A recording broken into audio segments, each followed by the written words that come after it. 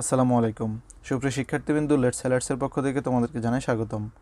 আজকে আমরা একটি বিখ্যাত speech I have a dream নিয়ে আলোচনা করব।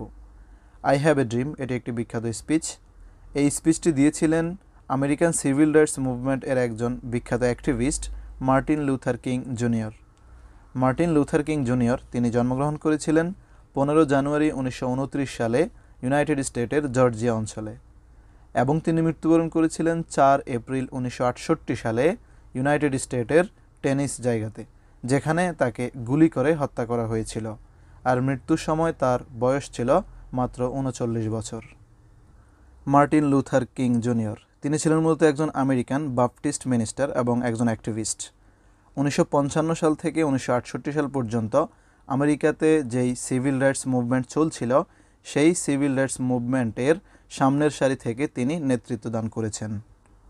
এক কথায় বলতে গেলে আমেরিকান সিভিল রাইটস মুভমেন্ট এর ব্যাপক অবদান তিনি রেখেছিলেন।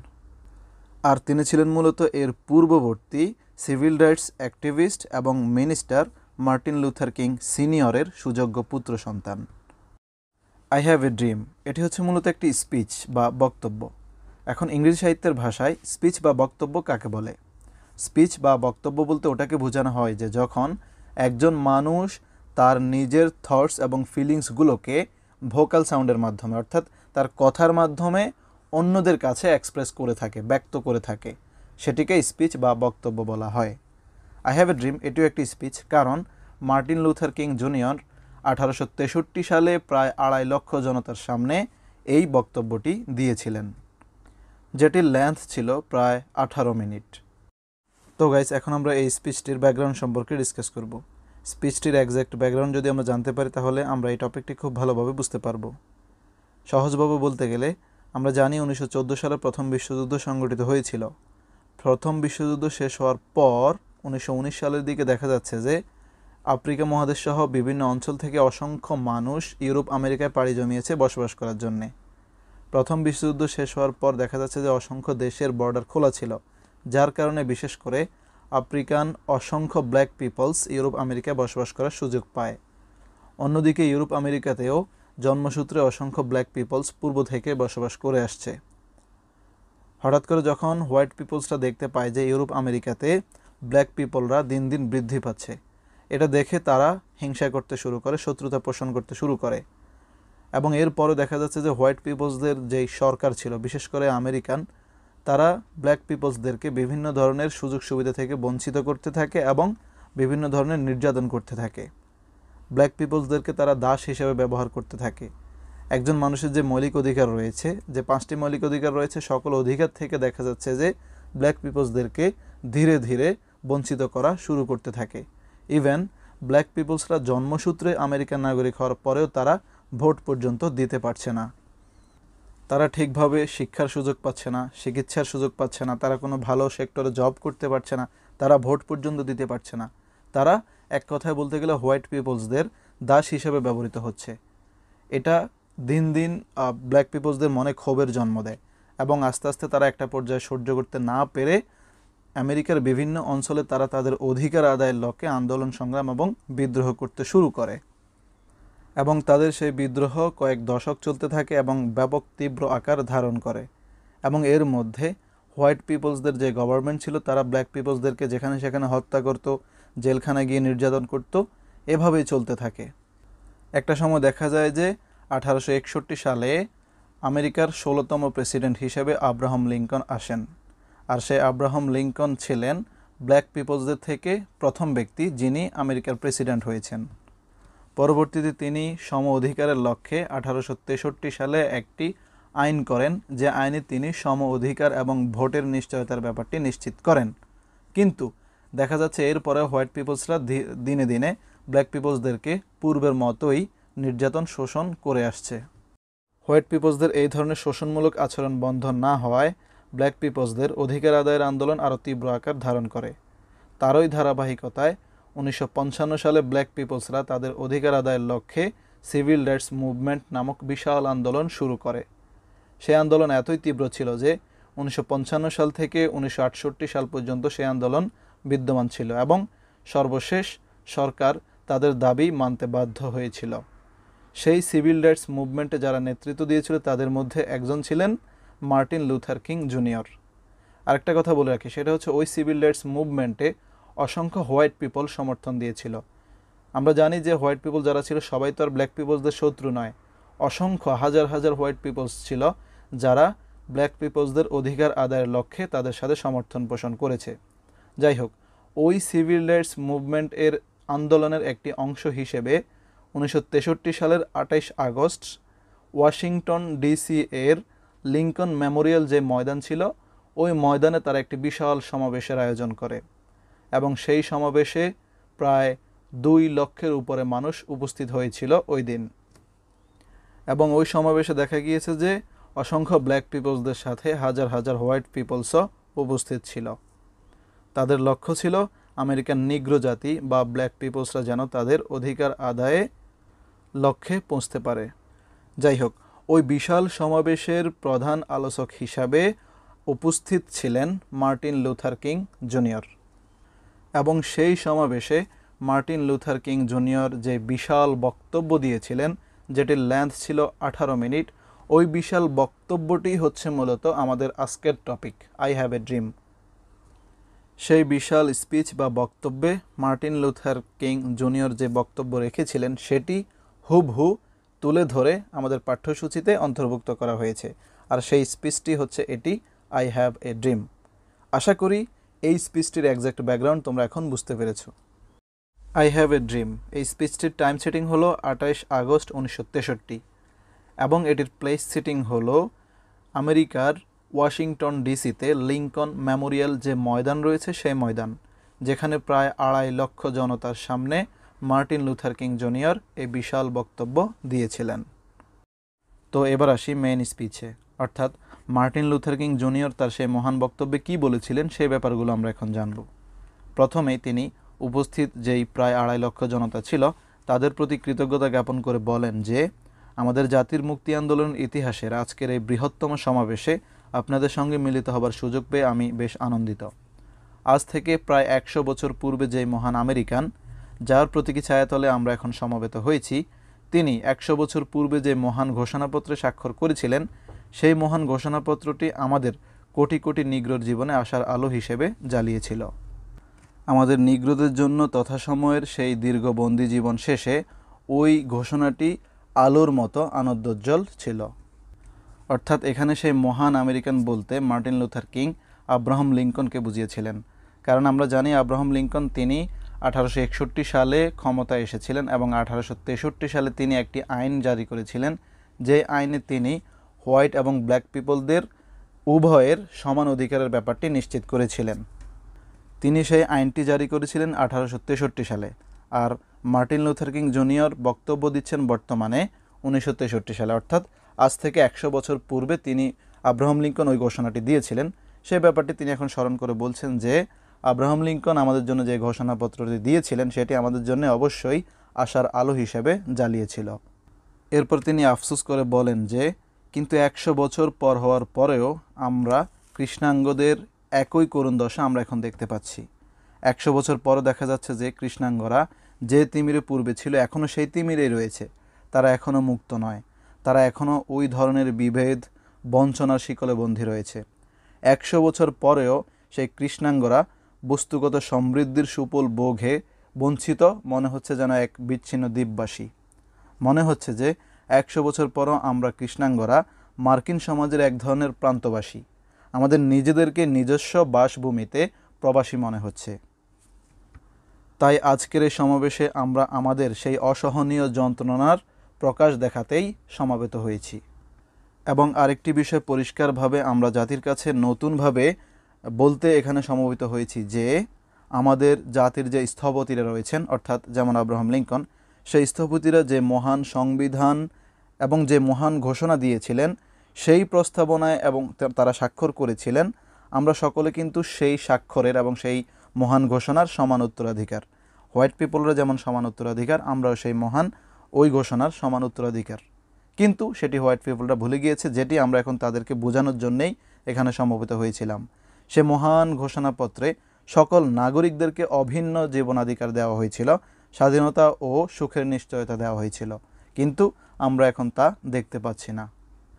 এরপর তিনি তৎকালীন আমেরিকার হোয়াইট পিপল অধ্যুষিত যে সরকার ছিল সেই সরকারকে আক্রমণাত্মকভাবে অভিযোগ তুলে বলেন যে, সুস্পষ্টভাবেই আমেরিকা ওই মহান ঘোষণাপত্রকে অগ্রাহ্য করেছে, বিশেষ করে কৃষ্ণাঙ্গ মানুষদের বেলায়। সেই মহান প্রস্তাবনাকে যথোপযুক্ত সম্মাননা না দিয়ে আমেরিকার সরকার তার কৃষ্ণাঙ্গ নাগরিকদের সঙ্গে মনে হচ্ছে যে পরিহাস করছে।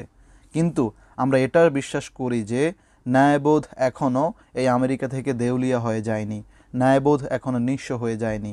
পুনরায় আমরা তাই ন্যায় বিচারের কাছে আবেদন জানাতে এসেছি, স্বাধীনতা ও আমাদের নিরাপত্তা চাইতে এসেছি। এই মহান সমাবেশে আমরা আমাদের স্বাধীনতা ও নিরাপত্তার যে তীব্র গুরুত্ব রয়েছে সে ব্যাপারটি বোঝাতে এসেছি। আমাদের বর্তমানের গুরুত্ব এতই সুতীব্র যে কেউ যদি আমাদেরকে কোনোভাবে ব্যাহত করতে চায়, তাহলে আমরা বলব তার সেই আশা নিতান্তই বৃথা হবে। এখনই সেই গণতন্ত্রের প্রতিশ্রুতির রূপায়ণ আমাদের জন্য অপরিহার্য। এখনই বর্ণ বিশেষণের যে নির্জন উপত্যকা থেকে আমাদেরকে বের হয়ে আসার সময়। মহান সৃষ্টিকর্তার সামনে সমান সুযোগের দ্বার উন্মুক্ত করার এখনই উপযুক্ত সময়। বর্ণবিদ্বেষের যে ছোড়াবালি রয়েছে, সেখান থেকে জাতিকে মুক্ত করার এখনই সময়। এরপর তিনি তৎকালীন আমেরিকান হোয়াইট পিপল অধ্যুষিত সরকারকে হুঁশিয়ারি দিয়ে বলেন যে, কৃষ্ণাঙ্গদের বর্তমান প্রয়োজনকে, তাদের এই দৃঢ় প্রত্যয়কে অবহেলা করা এই আমেরিকান জাতির জন্য ভয়াবহ হবে। কৃষ্ণাঙ্গদের দুর্বিষহ দিন ও তাদের সঙ্গত অসন্তোষের অবসান, স্বাধীনতা ও সাম্য প্রতিষ্ঠা ছাড়া কোনোদিনই সম্ভব হবে না। পরিষ্কারভাবে বলতে চাই, আজকের এই উনিশশো তেষট্টি সাল বরং শেষ নয়, আজকের এই উনিশশো তেষট্টি সাল শুরু। অনেকে মনে করেন যে কৃষ্ণাঙ্গরা এখানে সমবেত হয়েছে, তাদের কিছু সাময়িক অসন্তোষের কথা প্রকাশ করতে এবং তারা এখান থেকে চলে যাবে। তাদের উদ্দেশ্যে আমরা এটাও জানাতে চাই যে, আমাদের কৃষ্ণাঙ্গদের নাগরিক অধিকার নিশ্চিত না করলে এই জাতি কখনো শান্তিতে ফিরে যাবে না। আমাদের বিদ্রোহের চাপা আগুন ন্যায্য বিচার না পেলে বারবার জ্বলে উঠবে। এরপর তিনি তার সামনে উপবিষ্ট যে সমগোত্রীয় জনগণগুলো রয়েছে, তাদের উদ্দেশ্যে নছিহত প্রদান করে বলেন যে, কিন্তু আমি আমার সমগোত্রীয়দের উদ্দেশ্যে বলব, আমরা যারা ন্যায় বিচারের উষ্ণ তরুণের সামনে দাঁড়িয়ে আছি, আমরা যেন কোনো ক্রমেই ন্যায় বিচারের আশায় কোনো অন্যায়, সহিংস আচরণে জড়িয়ে না পড়ি। আমরা যেন কোনো অপরাধী হয়ে না পড়ি। স্বাধীনতার আস্বাদ পাওয়ার পূর্বেই আমরা যেন তাকে তিক্ততায় এবং ঘৃণায় না ভরে তুলি। আমরা আমাদের আন্দোলনের মর্যাদার পথে সুশৃঙ্খলার সুপথে চালিয়ে নেব। আমরা আমাদের এই সৃষ্টিশীল আন্দোলনকে কখনো সহিংসতার পথে পরিচালিত হতে দেব না। আমরা সহিংসতাকে অহিংসা দিয়ে জয় করব। আমাদের অপূর্ব ঐক্যকে, কৃষ্ণাঙ্গদের যুথবদ্ধতাকে কখনো আমাদের শ্বেতাঙ্গ ভাইদের পীড়ার কারণ হতে আমরা দেব না। কারণ আমরা দেখেছি, এখানে অসংখ্য শ্বেতাঙ্গ ভাই আমাদের সাথে উপস্থিত হয়েছেন আমাদেরকে সমর্থন দিয়ে। এখানে সমবেত আমাদের শ্বেতাঙ্গ ভাইয়েরাও বুঝেছে যে তাদের ভাগ্য আর আমাদের ভাগ্য অবিচ্ছেদ্যভাবে আমাদের শান্তি যাত্রার সঙ্গে একই সূত্রে গাঁথা। আমরা কখনো একাকী পথ চলতে পারি না। আমরা একবার যাত্রা শুরু করলে এগিয়ে যাব, কোনোভাবেই আমরা পেছাবো না। অনেক মানবাধিকার কর্মী আমাদেরকে জিজ্ঞেস করে যে, তোমরা কখন সন্তুষ্ট হবে? তাদেরকে আমরা উত্তরে বলব, কৃষ্ণাঙ্গরা যতদিন অবর্ণনীয় পুলিশি নির্যাতনের নিষ্ঠুরতার শিকার হবে, ততদিন আমরা শান্ত হব না। যতদিন এই ক্লান্ত কৃষ্ণাঙ্গরা রাস্তার পাশে হোটেলে এবং নগরীর হোটেলের থাকার অধিকার পাবে না। যতদিন পর্যন্ত কৃষ্ণাঙ্গরা এই গিনছি বস্তি থেকে সুপরিসরে আবাদে বসবাস করার সুযোগ পাবে না, ততদিন আমরা শান্ত হব না। যতদিন পর্যন্ত এই মিসিসিপির কৃষ্ণাঙ্গরা, নিউ ইয়র্কের কৃষ্ণাঙ্গরা ভোটাধিকার থেকে বঞ্চিত থাকবে, ততদিন আমরা কৃষ্ণাঙ্গরা শান্ত হব না। না, আমরা কিছুতেই থামব না। যতদিন এই ন্যায় বিচারের অমল ধারা নিরন্তর প্রবাহিত না হয়, ততদিন আমরা ক্ষান্ত হব না।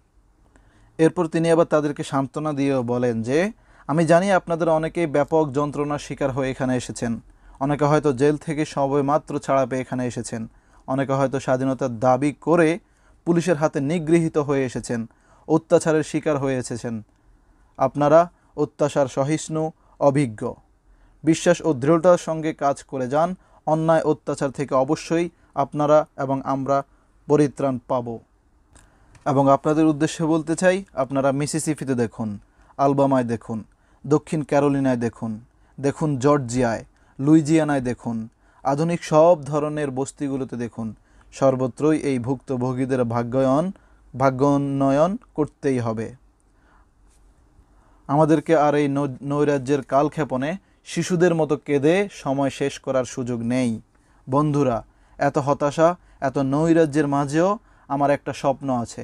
সে স্বপ্ন সমগ্র আমেরিকার স্বপ্ন।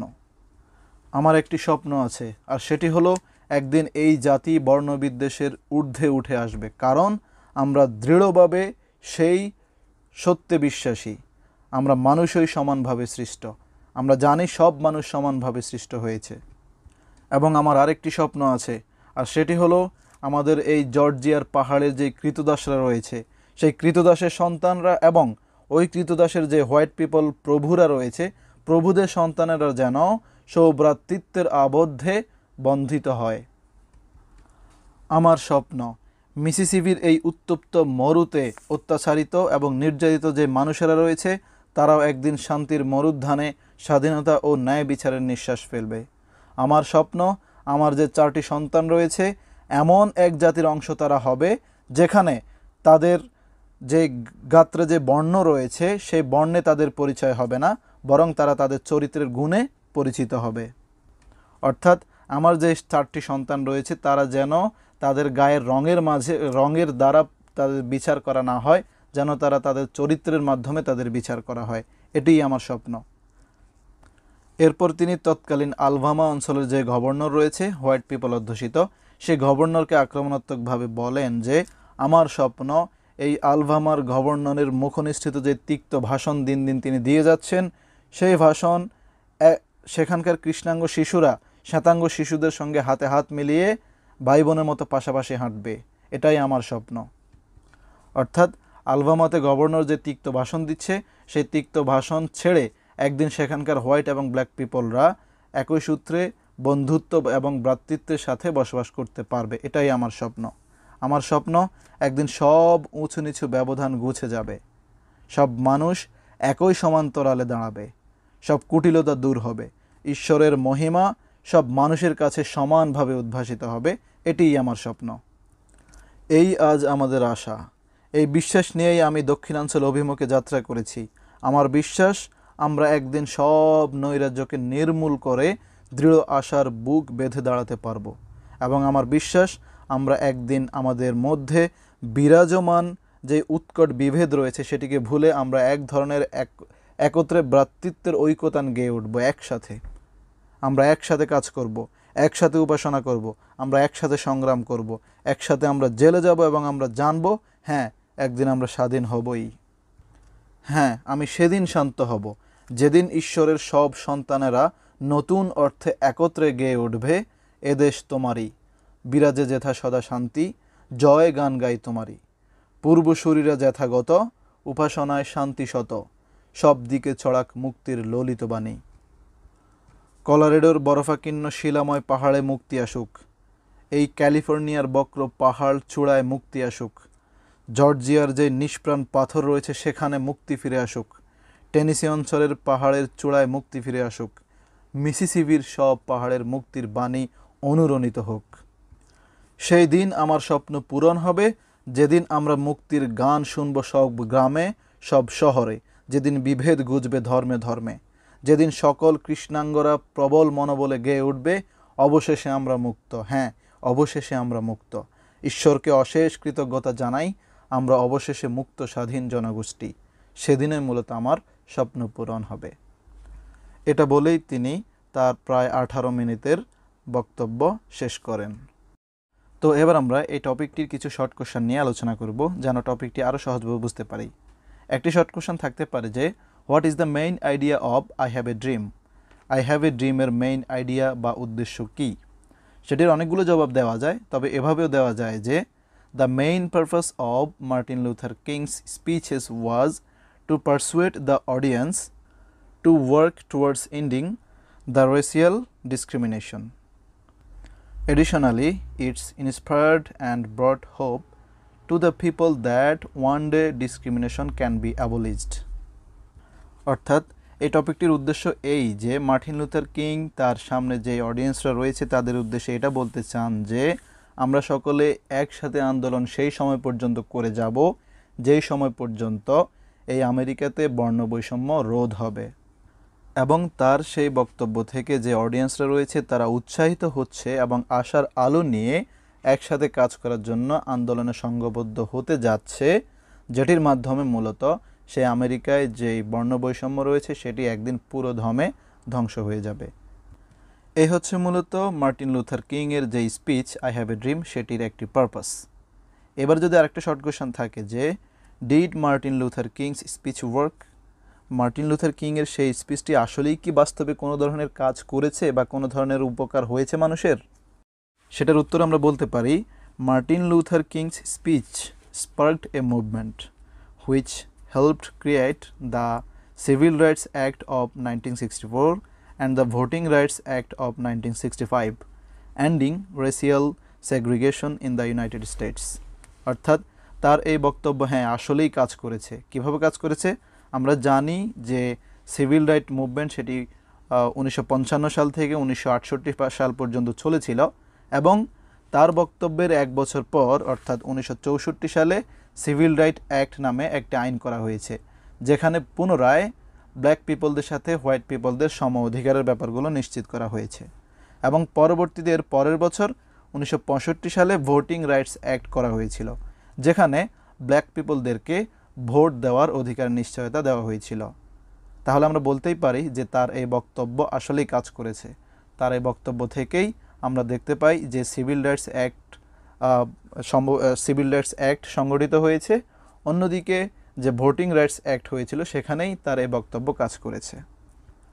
এবং অন্যদিকে আরেকটা শর্ট কোশ্চেন থাকতে পারে যে, what is the most powerful part of the I have a dream speech? এই আই হ্যাভ এ ড্রিম স্পিচের বক্তব্যের মধ্যে সবচেয়ে পাওয়ারফুল পার্ট কোনটি? মূলত তার এই স্পিচে অসংখ্য ইম্পর্ট্যান্ট পার্ট রয়েছে।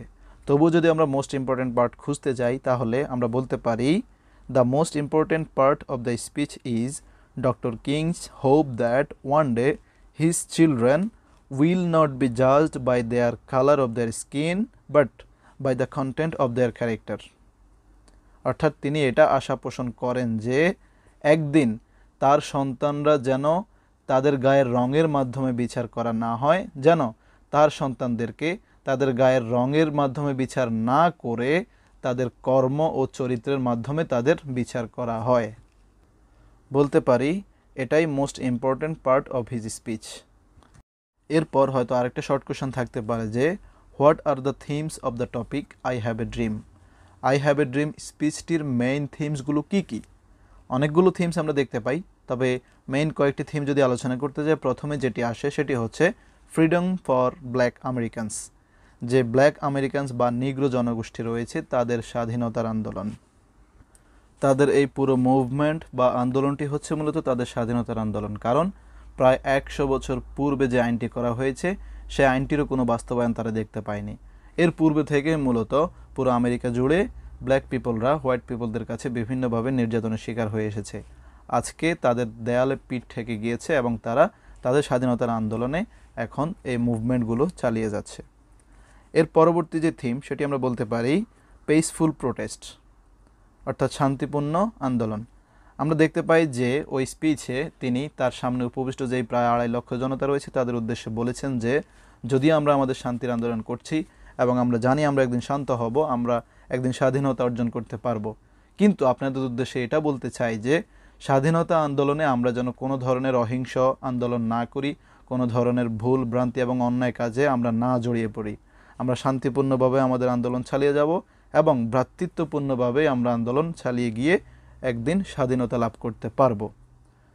তার এই স্পিচের একটি গুরুত্বপূর্ণ থিম হচ্ছে এটি, যে পেসফুল থিমস এর পরবর্তী গুরুত্বপূর্ণ থিম হল হোপ ফর দ্য ফিউচার তার এই পুরো বক্তব্য জুড়ে অসংখ্য জায়গায় আমরা দেখেছি যে তিনি ফিউচারে আগামীতে আমেরিকা কেমন হবে সেই আশা পোষণগুলো ব্যক্ত করেছেন। তিনি বলেন যে এমন আশা তিনি করেন যে যেখানে আমেরিকান মানুষগুলোকে তাদের গায়ের রঙে নয়, বরং তাদের কর্ম এবং চরিত্রের মাধ্যমে বিচার করা হবে। এমনটাই তিনি আশা পোষণ করেন। এবং তিনি আশা পোষণ করেন যে আমেরিকার যেই কৃতদাসরা রয়েছে, ব্ল্যাক কৃতদাসরা রয়েছে, তাদের সন্তানরা এবং যে মনিব রয়েছে, তাদের সন্তানরা যেন একইভাবে ভ্রাতৃত্ববোধের বন্ধনে আবদ্ধ হয়। তিনি এটা আশা পোষণ করেন যে সবাই যেন ভোট দিতে পারে, সবাই যেন একসঙ্গে গান গাইতে পারে যে হ্যাঁ আমরা একই সৃষ্টিকর্তাকেই প্রার্থনা করি। তো এই তিনটি হচ্ছে মূলত এই টপিকটির গুরুত্বপূর্ণ থিমস। আশা করি তোমরা বুঝতে পেরেছ। এবং আরেকটি গুরুত্বপূর্ণ হিন্টস দিয়ে রাখি। সেটি হলো, আমরা জানি ইউরোপ, আমেরিকা জুড়ে শত শত বছর ধরে ব্ল্যাক পিপলদেরকে নির্যাতনের শিকার হতে হয়েছে। এবং অ্যাটলিস্ট আমরা দেখেছি, আঠারোশো একষট্টি সালে আমেরিকার ষোলোতম প্রেসিডেন্ট হিসেবে আব্রাহাম লিঙ্কন শপথ গ্রহণ করেছেন। এবং তিনি ছিলেন মূলত ব্ল্যাক পিপলদের মধ্য হতে প্রথম ব্যক্তি যিনি আমেরিকার প্রেসিডেন্ট হয়েছেন। তিনি একটি আইন করেছেন, সেই আইনে ব্ল্যাক এবং হোয়াইট পিপলদের সম অধিকারের ব্যাপারগুলো নিশ্চিত করা হয়েছে। কিন্তু সেটির একশো বছর পরেও উনিশশো তেষট্টি সালে আবার দেখা যাচ্ছে যে মার্টিন লুথার কিং জুনিয়র বলছেন যে, একশো বছর পূর্বে যে ঘোষণা দেওয়া হয়েছে সেটির কোনো ধরনের মানাই হচ্ছে না, বরং সেটিকে হোয়াইট পিপলগুলো পরিহাস করে যাচ্ছে। এবার যদি আমরা বর্তমানের দিকে খেয়াল করি, উনিশশো তেষট্টি সালে আব্রাহাম লিঙ্কন সে বক্তব্যটি দিয়েছেন। এখন দুই হাজার একুশ সাল। এখনও আমেরিকাতে হোয়াইট পিপল এবং ব্ল্যাক পিপলদের মাঝে বর্ণ বৈষম্য বিদ্যমান রয়েছে। কিছুদিন পূর্বে আমরা দেখেছি আমেরিকাতে ব্ল্যাক পিপল, জর্জ ফ্লয়েডকে আমেরিকার হোয়াইট পিপল পুলিশ হত্যা করেছিল। এবং আমরা এটাও দেখেছি যে কিছুদিন পূর্বে, আজ থেকে কয়েক কয়েক বছর পূর্বে আমরা দেখেছি যখন বারাক ওবামা এবং হিলারি ক্লিন্টন একই দল থেকে নমিনি পেতে নমিনি প্রত্যাশিত হয়েছে, তখন তাদের দুজনের মধ্যে একটি বিতর্ক হয়। সেই বিতর্কেও হিলারি ক্লিন্টন, বারাক ওবামাকে বলছে ইউ আর ব্ল্যাক তুই তো ব্ল্যাক এটা বলে গালি দিয়েছিল। চিন্তা করে দেখো, আজ থেকে কয়েক বছর পূর্বেও জাতীয় নির্বাচনে প্রেসিডেন্ট প্রার্থী দুজন যখন বিতর্ক করে, সেখানেও একজন একজনকে ব্ল্যাক বলে গালি দেয়। অর্থাৎ সেই বর্ণ বৈষম্য এখনও ইউরোপ, আমেরিকা থেকে রহিত হয়নি। যদিও পূর্বের মতো তীব্র নয়। যাই হোক, এই হচ্ছে মূলত এই টপিকটি সম্পর্কে আমাদের বিস্তারিত আলোচনা। আশা করি তোমরা এনজয় করবে। যদি কোনো ধরনের ভুলভ্রান্তি হয় বা কোনো ধরনের কারেকশন থাকে, অবশ্যই কমেন্ট করে জানাবে। আর যদি আজকের টপিকটি ভালো লাগে, অবশ্যই লাইক করবে। কমেন্ট করে তোমাদের মন্তব্য জানাবে এবং তোমাদের বন্ধুদের সাথে অনেক বেশি শেয়ার করবে। পরবর্তীতে কোন টপিকটি আলোচনা করব সেটি অবশ্যই কমেন্ট করে জানাবে। ধন্যবাদ।